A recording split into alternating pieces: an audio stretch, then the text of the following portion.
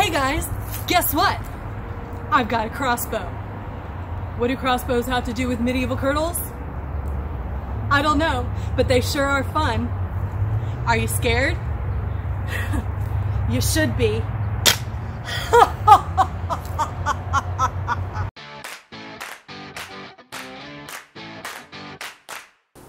hey y'all, Today, I am going to be making a 15th century supportive kirtle using historical hand sewing techniques, mostly. This kirtle is going to serve as the underlayer for my medieval Maleficent costume, and this video is the first in a three-part series on the making of Maleficent. If you're interested to see the final result, make sure you subscribe to my channel so that you can see those videos once I get them up. So, what is a kirtle? A kirtle is a dress that was worn starting about in the mid 14th century. It began as a loose garment which got tighter and more fitted as the outer dress styles changed. As we make our way into the early to mid 15th century, the time period that Disney used to inspire Maleficent's robe, the kirtle begins to serve as a foundation garment for the looser gown that wealthy women wore over top. Say that 10 times fast. I've seen several very good videos on kirtles here on YouTube, but most of them are made by much smaller women.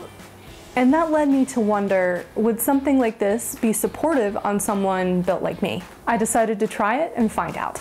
I wanted this kirtle to be as flexible as possible, something I could wear, say, to Renaissance festivals, something that was historically adequate enough to wear to future events, and maybe even wear to the office as a history-bounding outfit. To make this dress more versatile, I decided to build it sleeveless, with matching pinned-in sleeves. I live in Texas and it gets very hot here, looking at some images from the mid 15th century, you can see that this was definitely done in the period.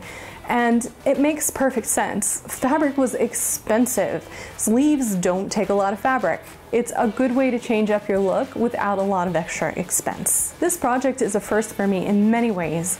It's my first truly historically adequate article of clothing. It's my first time hand sewing an entire garment, and my first foray into medieval garb, which is a section of history I never thought I would venture into, considering my thing is late 17th century France. But this year I needed a Halloween costume that had flexible fitting, garments that would be easy to alter. The simple structure and minimal seams of medieval wear fit into that criteria unlike late 17th century France. Maleficent's kirtle, which we do see in the film, and I'm going off of the animated feature here, not the live action, is a delicious berry color. However, Mood had a sale on linen this spring, and knowing that I wanted to make it out of linen, which is a rather expensive fabric, I jumped on the opportunity and ordered five yards of purple linen without looking at Maleficent's dress to confirm its color. But you know, I, I don't mind the purple. And the sale linen didn't come in that color anyway. And even on the other sites that I knew about at the time, didn't have the berry color that is canon to the film. Is this purple that I picked a purple that would have been possible in the 15th century? You know, I'm not sure. I'm not as knowledgeable about natural dyes as I am about modern day dyes. If you have a good source of information on the dyes used in the medieval period, please leave me a comment below and let me know because I had trouble finding specific information, especially about purples, which don't seem to appear much in the imagery that I found. To make this dress, I decided to use the medieval tailor's assistant to draft the pattern. They have thorough instructions for pretty much anything you want to make from the medieval period in there, including the undergarments and the headwear and the belts. The catch is, is that it's all sort of written out with the assumption that you have some basic construction knowledge. So I don't recommend it for someone who is new to sewing. If you're not new to sewing, but new to the world of medieval like me, you should be fine. Just Read through everything once first before you start and take your time. To build this pattern, I needed a medieval block. A block is a pattern that fits exactly to your own measurements. In modern day fashion design, this can also be referred to as a sloper, but know that the medieval shape is different from our modern idea of a sloper. It must be fit very closely to your body with arm size close to your underarms. Making a block is best done with the help of someone else, but I did not have someone else. So I ended up making my block using duct tape. I filmed this with the intention of putting it in this video, but decided to make it its own separate video instead. One, because this video is already too long, and two, because that footage is pure comedic gold, and I did not want to reduce it down to a minute of time lapse. So you have that utter silliness to look forward to at a later date. I really did not want to draft out the bodice part of this kirtle. The math was hurting my head way too much. This kept me from starting the project for a long time because I was super intimidated but I ended up finding some excellent instructions from a blog called La Cotte Simple, which I've linked in the description below. She goes in depth how to drape a supportive kirtle and has two options, a curved front like the one I'm using and a straight front, which is a little tighter fitting and better for people with a smaller bust. Again, this is best done with an extra set of hands, but I did it myself off camera.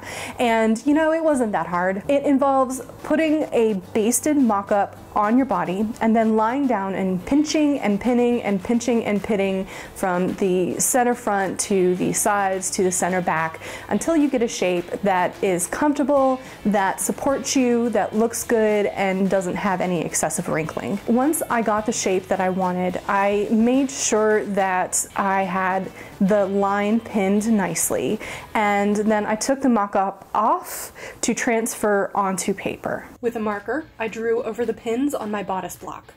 I ripped out the basting stitches and cut to the drawn lines for my final shape. Then, using some high-tech pattern weights, I traced the shape onto a sheet of paper. I'm using one color pen for the right side and another color for the left side, and tracing the lines on top of each other so I can take the average shape. Then, with my handy French curve, I smoothed out the lines to make them prettier. I repeated this process for the front, which was a little trickier.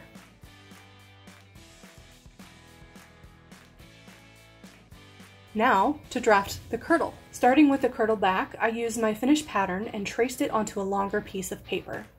Now, uh, smarter jacks would have used a pen or something so you could actually see the lines I'm drawing, but unfortunately I was more focused on erasability.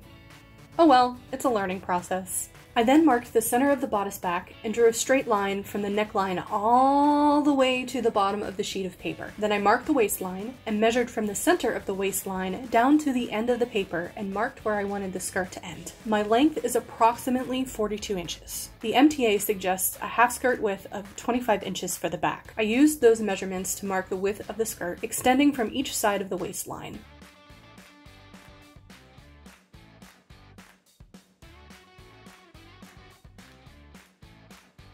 And then I used my French curve to draw out the hemline, and all that was left to do was cut it out. I did the exact same process for the front.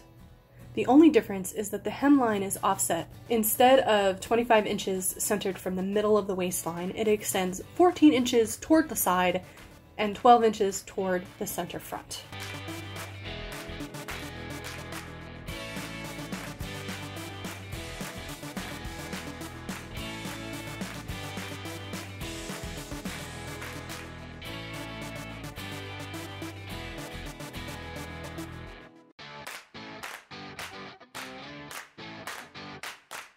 The sleeve was a little more complicated because I did a straight draft instead of draping. First, you need a few measurements.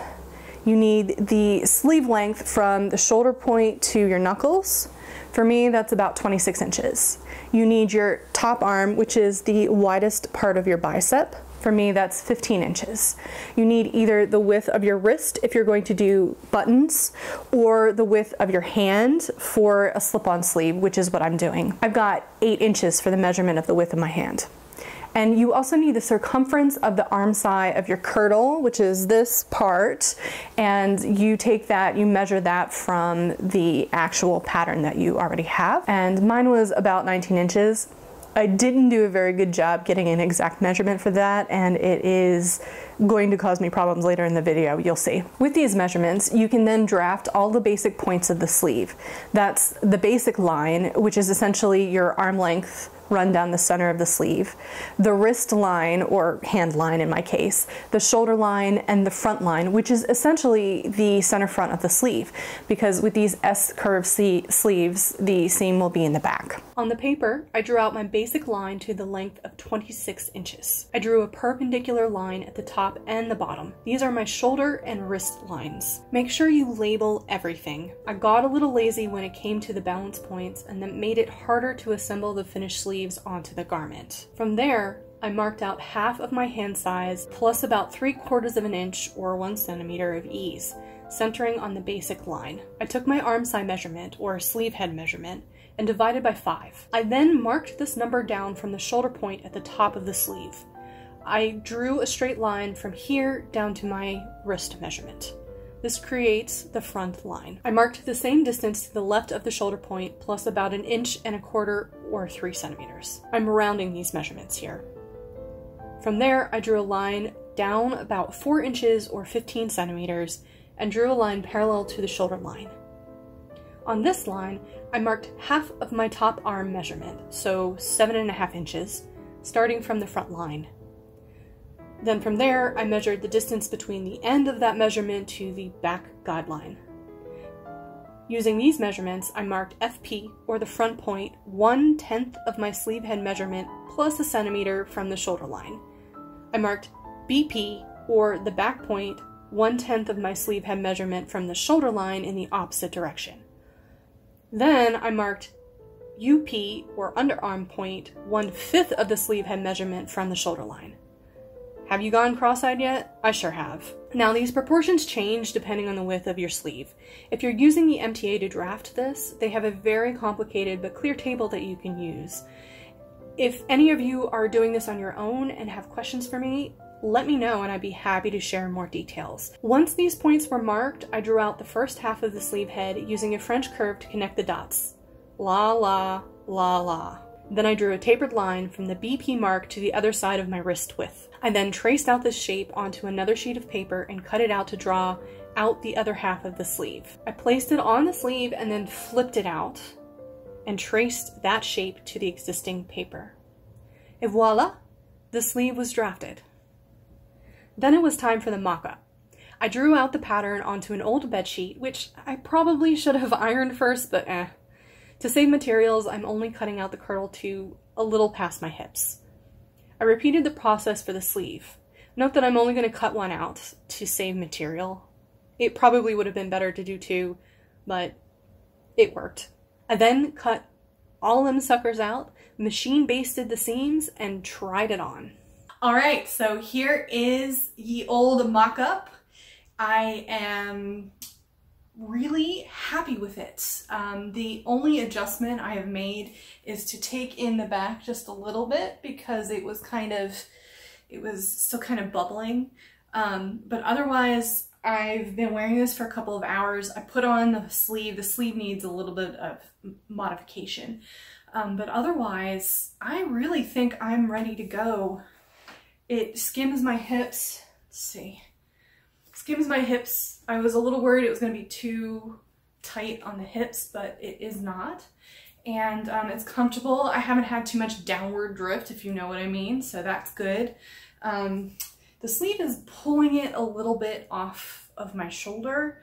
Uh, however, I think that is because I cut off the seam allowance on my sleeve for some strange reason. I don't know why. And so it's a little bit smaller than it should be, so it'll live a little bit higher up. And if it pulls off a little bit, that's okay because that is, I mean, that's a neckline that was happening at this point. So, um, yeah, I spent so much time trying to fit this kirtle. It took hours, but it was worth it because this mock-up is, I mean, it fits me. I'm comfortable. It doesn't wrinkle too bad. Um, so yeah, I, I think we're good to go. Okay, I ran into a problem. My fabric is not wide enough for the skirts. As you can see, um, I've got this folded up here, so it's just, it's not wide enough, and I've been finagling this for a while. And I really didn't want to have to put gores in this, but um, I'm gonna have to. So this is the back piece and it, it needs a little bit more space than the front. So I am going to place the gore on the center back seam. Um, my thinking is this length is different size than the front. Um, the, the front is only, I only need like two or three inches more to get the front all in one piece. So I'm just gonna do a little wheel piece on the side for the front portion and then the back I am going to put in the gore on the back. I just have enough. I, I did the math, I need 28 inches. So this straight, because it has to be cut on the straight grain. So here's my little seam, seam allowance here. I folded it in and this length from here to here is 28 inches. And my hem is gonna be slightly wonky, but I will deal with that. That I can make, I can make that work. Um, so from here to here is 28 inches, actually 28 and a half. Um, and so what, what is gonna happen is I'm gonna cut this piece here and then I'll cut this in half, put the gore in on the back from here. And I was a little scared because my sleeves um, are going to be cut from this fabric as well and I'm cutting it close y'all. Um, but I did the math and I have about three inches of wiggle room for the sleeves, which is good because I actually have to make this a little bit wider before I cut it. Um, I'm not 100% focused on getting the sleeves done today, but I do want to get the sides of the kirtle cut so that I can get started hand sewing them um, because time, yay. And um, this way I can work simultaneously working on the kirtle and the houppelande. Um, I was kind of going to wait on the kirtle but um, I'm not going to. I'm gonna get this shit done. So yeah, that's that's the plan. Um, it isn't what I wanted, but as they always say, piecing is period. And um, I think I have enough fabric, which is the main thing. So yeah, um, I'm gonna go ahead and get all of this cut and then pin together. And then hopefully tomorrow I can get started on sewing it together.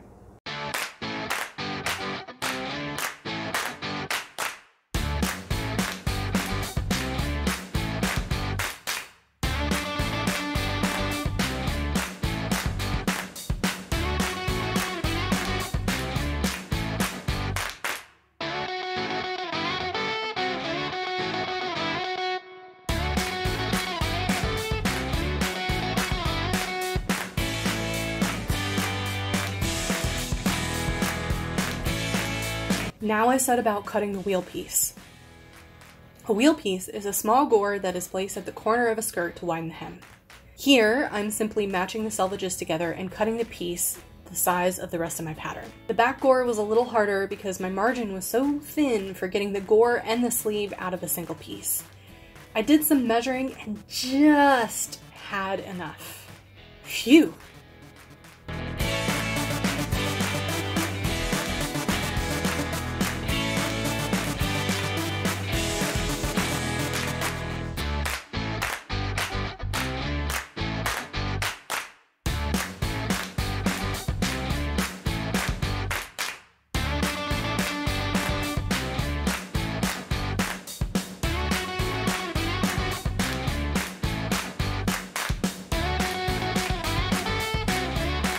Now for some lazy stitch marking. I used a Ponce wheel and all my tracing paper to mark the stitch lines on the other side of the fabric. Then on the front side, I marked the stitch line with a chalk pencil. I then pinned each wheel piece to the front pieces and did the same for the gores in the back. Then I was ready to start sewing. Alright champ, you got this. Float like a bee and sting like a butterfly. You can get this thing hand sewn. Are you ready? Yep, I'm ready. Good. You got your thread? Got my thread. You got your beeswax? Got my beeswax. You got your thimble? Got my thimble. All right, get ready. Get in that ring. Let's go. After back stitching the gores and wheel pieces, I ironed out the seams and folded the edges over the raw seams for felling. Before I began the side seams, I needed to cut out the lining. I didn't do this for the dress itself, but because this kirtle is supportive, I wanted to make sure that at least the lining was cut on grain. So I began by doing my absolute favorite thing, pulling a thread. Then I traced out the stitch lines on the lining fabric using the tracing paper on the back and a friction pen on the front. Friction pens are my new favorite thing. They disappear with heat. You can find them on Amazon for relatively cheap. Here I'm marking the waist and hip line. I'm only lining it to the point slightly below my hips, both to keep this dress lightweight and to save on materials. This inner fabric I'm using is a medium weight herringbone ticking linen from Burnley and Trowbridge. It's very nice and I was hoping to have enough of it left over from this project to use for a set of stays for a future endeavor.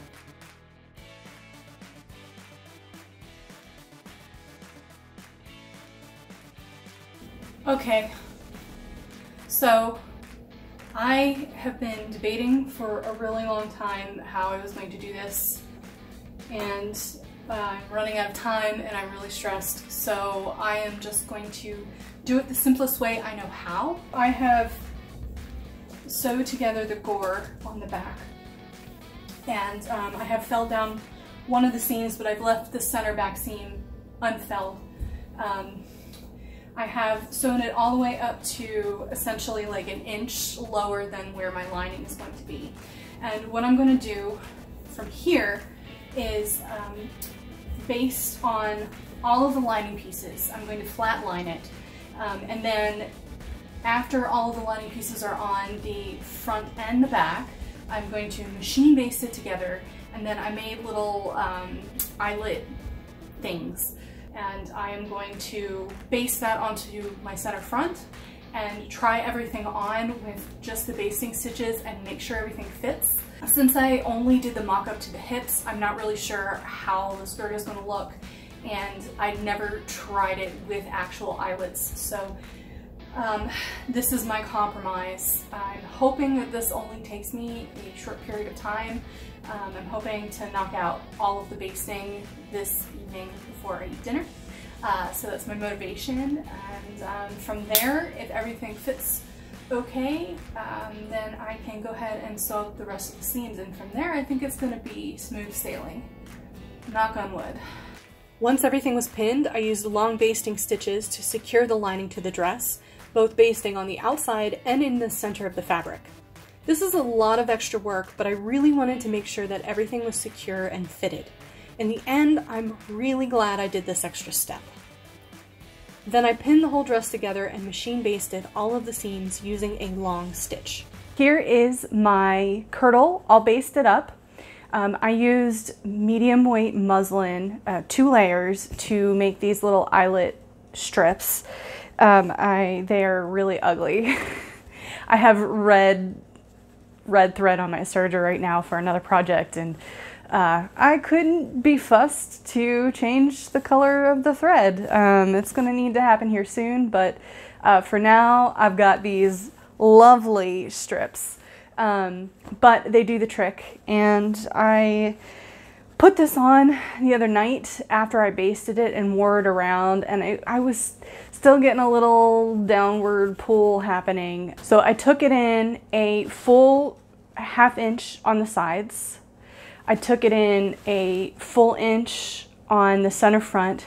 And then in the back, I took about an inch and a half out. Um, I am a little unhappy. I've got like this little bubble where the dart is. Uh, I'm going to need to fix that, but that'll be easy because I'm, I'm probably just going to take it in just a little bit on the center back here um, because it's only going to stretch. And I would rather it start out a little too small and ease out to fit me than start out big and do all of this work just to have it not fit in a couple of days. So um, I'm gonna step back. It's really long. I thought I had measured it right, but it's it's about six inch inches down on the ground. So I'm gonna have to take it up. I'm pretty happy with it, and I think I'm gonna go ahead and get it sewed up. I love when things go the way you want them to. Shit, did I just jinx myself? Fun fact, make sure you view your videos after you shoot them. Don't just assume everything is good and move on. Because I shot this whole section assuming my mic was plugged in and working, and it was not. And I only realized it when I went to start editing. Anyway, here's a nice shot of my basted insides. For the sake of not fraying, I decided to serge the ends of the lining before I felt it up because this fabric is going to take a lot of strain and I wanted it to be as strong as possible. Now, all I have to do is turn it up once and whip it down using some linen thread. It'll stay strong and secure even if I put this in the washing machine. Dun dun dun! Here's a close-up of the lacing strip I made. I 100% recommend making one of these for any project that requires lacing. Not only did it save me a lot of time, but it gave me a chance to practice my hand-stitched eyelets before I did the real thing. And now, if I make another kirtle, I can use this again in the mock-up process. For your viewing delight, some actual hand sewing footage. I'm whipping the loose edges of the lining down to create a nice neat edge that won't fray. After that, I pulled out the basting and hand stitched the side seams, making sure to backstitch the bodice, though I used a running backstitch on the skirts. A weaker stitch, but much faster.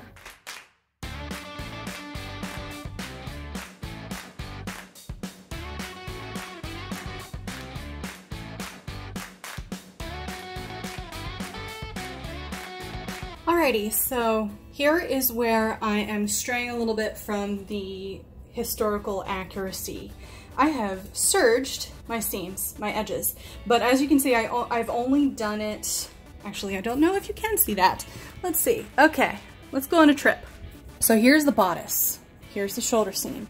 The shoulder seam I'm gonna fell as I should. For the bodice, I wanted to have a little bit of flexibility. The idea being, if I need to let this out, I have a little bit of extra seam allowance here, and if I want to let it in, I don't have this tiny seam allowance that's going to fray when I pull it. So I am going to whip these down.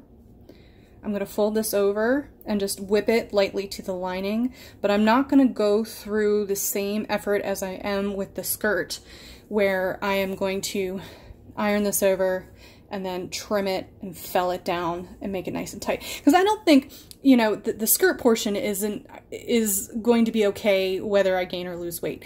But if I gain or lose weight in the bodice, it is going to make a huge difference. And because this is a front lacing bodice, I won't be able to modify from the center front. So I have done this on both of my side seams and my center back seam. Hopefully the serging will keep it from fraying. I didn't do a very nice job. It was kind of hard to get this through my feeder, but whatever, you know what? I think this is going to make a much more flexible garment and something that I can wear for a long time. And hopefully I will only have to take it in, but if I have to let it out, I got a little extra room in here. First, I pressed open the seams and trimmed one side down. Then I flipped the raw edges to one side and used the iron to press the longer edge over the shorter, encasing all those pesky fraying ends. Then it was just a matter of, you guessed it, whip stitching those seams closed. Now for the finishing and making pretty. I ended up taking the center front in a little, so first I marked my new stitch line before removing my basted on lacing strips. I trimmed off the excess, leaving a small seam allowance. Then I pressed the raw edges inward.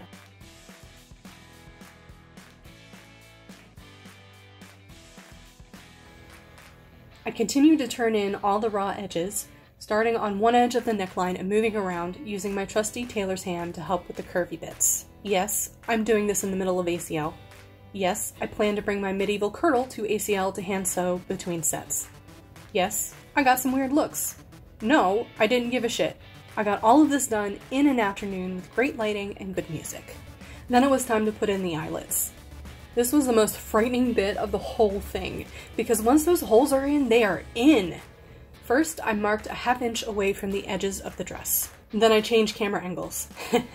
How do you like being on top? Using my lacing strips as a guide, and my handy eyelet ruler, I marked my eyelet holes on the fabric, spaced one inch apart. I then poked holes into the fabric through all layers. I used an awl, which merely moves the fibers out of the way instead of cutting with an eyelet die, this makes the opening much stronger and much less likely to fray. It is weirdly satisfying. And doesn't bother your neighbors with the pounding. Please ignore the fact that I'm not poking on the white dots. Math is hard, okay?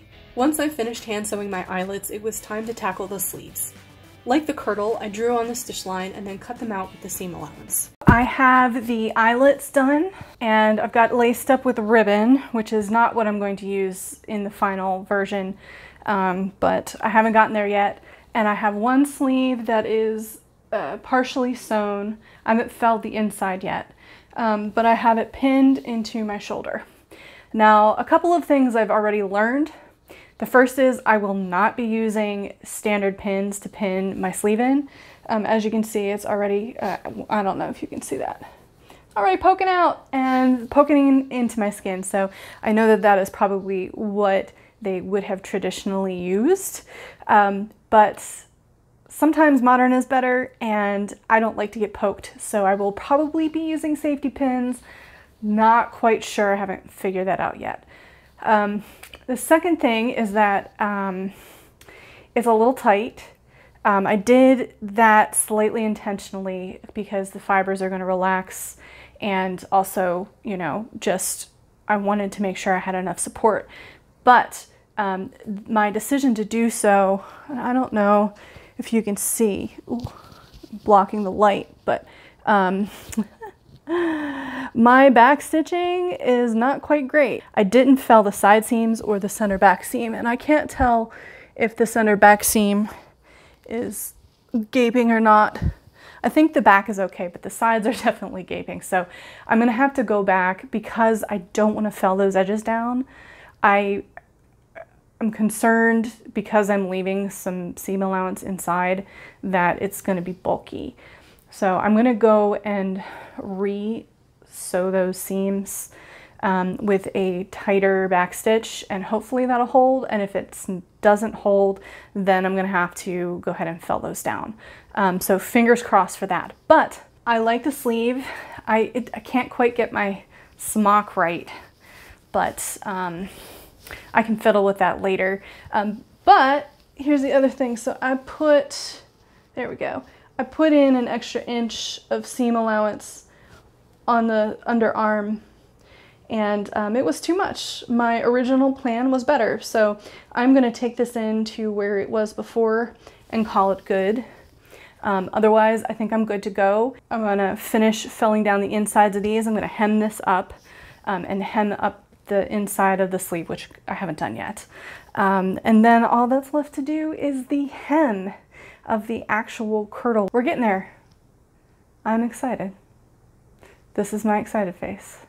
Like the skirt, I trimmed one of the raw edges, pressed both edges to one side, and then tucked the longer edge over the shorter to encase the seam. Because the skirt was so long, I marked a 3 inch hem on the bottom of the kirtle. Then I pressed up an inch and a half all the way around, and then pressed that width up again and pinned it. I tried it on, but it was still too long, so I ended up turning it up again twice. After hem stitching it down, I gave it a nice press. Okay, so I thought y'all might be interested. Okay, so obviously I have not made my finger loop braid yet for the center. I'm still using this ribbon, um, but I thought you might be interested to see the finished inside. Um, as you can see, I've got this linen, the linen lining here. Okay, here's the felled shoulder sleeve, or the felled shoulder seam. That's the right word. There we go. Okay, and then here is the side seam, which I have left open. If you remember when I tried it on, um, the side was bursting out.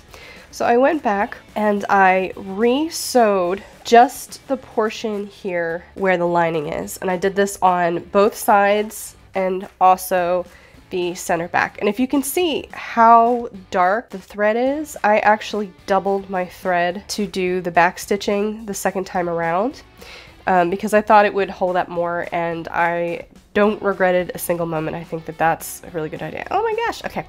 Um, so yeah, so that's kind of what the inside of the bodice looks like. It's a little bit raw, but I think that uh, leaving it open like this is going to make it really easy to take it in or let it out if I need to. And I am all about making things easier right now to take in and let out. And so here's the felled edges. Um, this is the gore at the back. Okay. And there's my nice wide hem. Now I did lose a lot of width in the bottom of the skirt because I took it up so much. I'm not 100% sold on it. Uh, I think I'm gonna wear it around a little bit. Also, like, look at how small this wheel piece is now because I rolled it up six inches. It was like, you can't see that. It was like this before, right? But because I had rolled it up now, it's this teensy tiny little wheel piece. But that's okay. Um, like I said, I'm gonna wear this around the house for a little bit.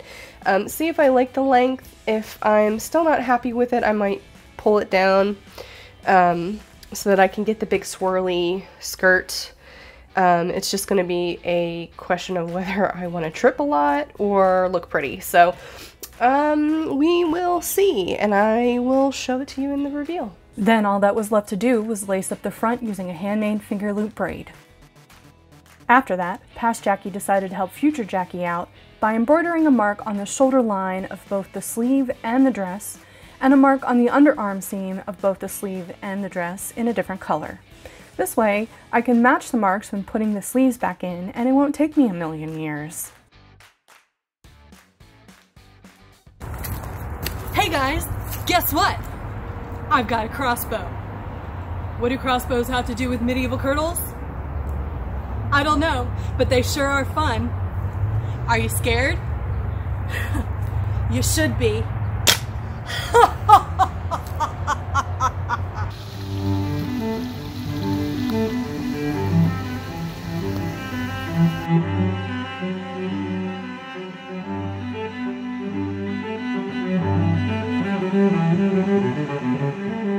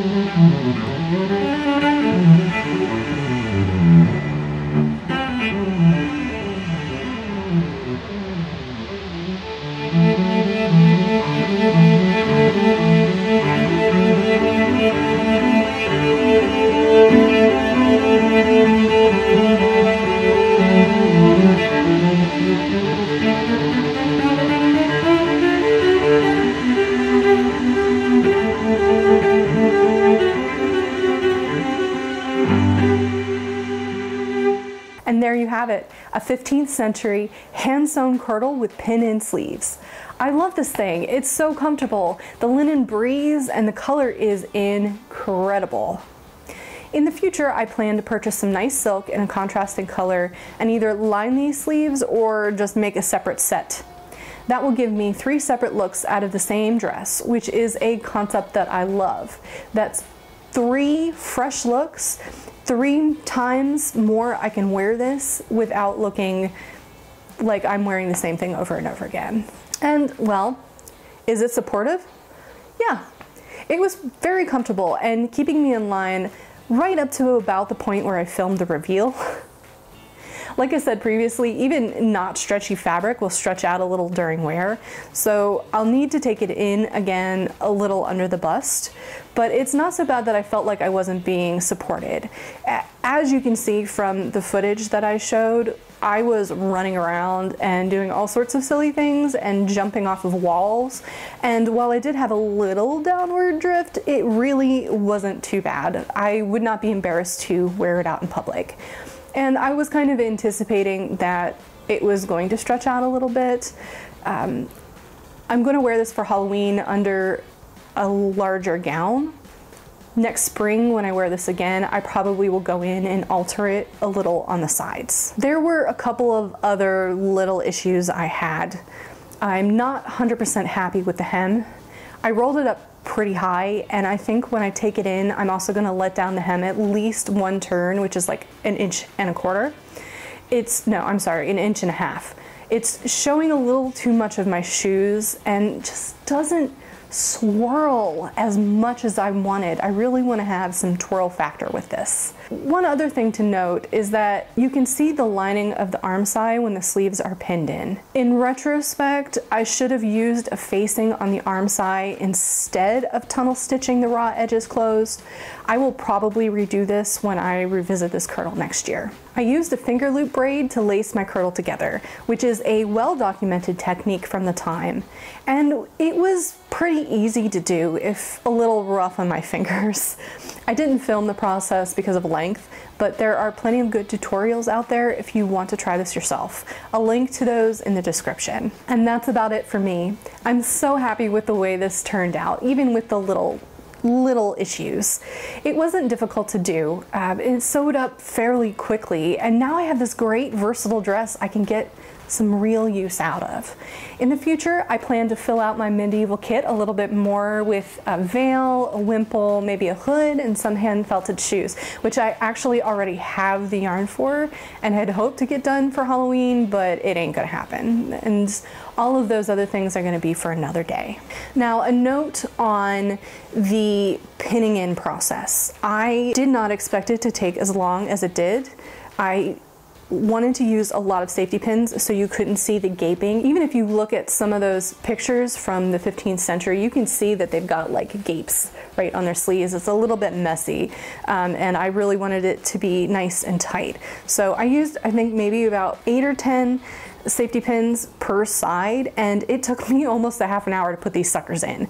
And during the reveal process, when I had to take them off, it took almost a half an hour to get the sleeves off because I was wearing the kirtle. It was it was kind of rough because I had to do it while I was wearing it and you know, I was in public so I couldn't just like take it off.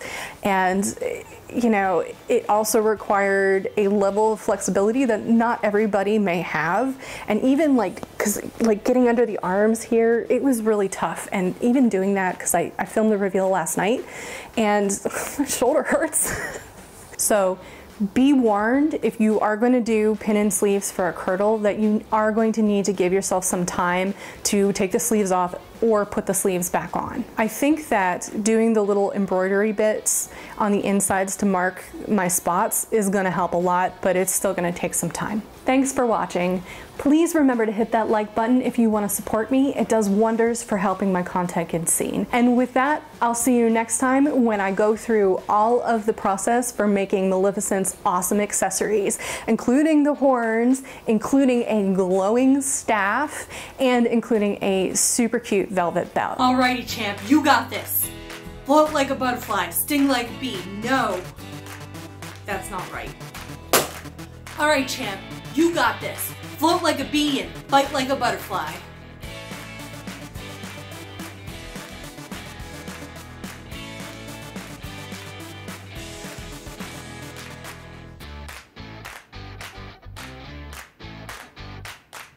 Float like a bee and sting like a butterfly.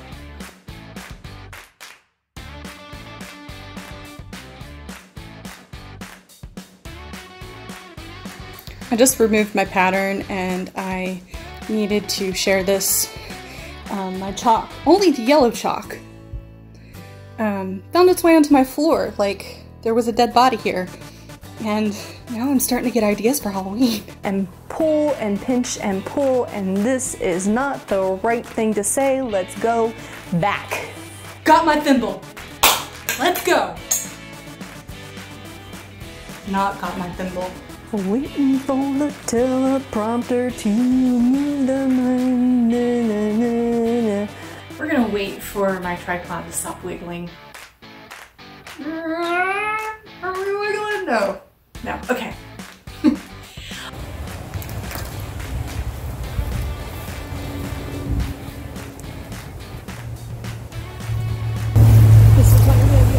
This is muddy as hell.